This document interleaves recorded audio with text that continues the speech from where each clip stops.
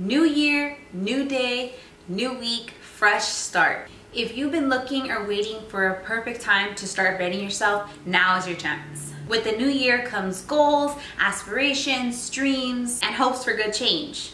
We all want a good year, but sometimes we forget that with that requires change. If we want something that we've never had, we're gonna have to do some things that we've never done before. So if you feel like your past years have always ended up the same, it's time for a change.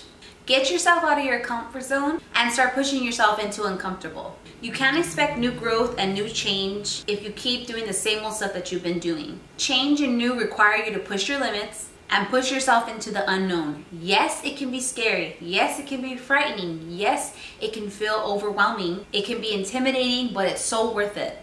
Some of the greatest achievements that anyone has ever accomplished have come from pushing your boundaries and pushing yourself into the unknown. Being comfortable is good, but being comfortable also means that you're stagnant. And being stagnant for such a long time means that you stay in the same place. And if you're in the same place, that means that you're not growing, you're not changing. One of the most important things in life is to grow and become a better human being and become a better version of yourself. So do yourself a favor and grow.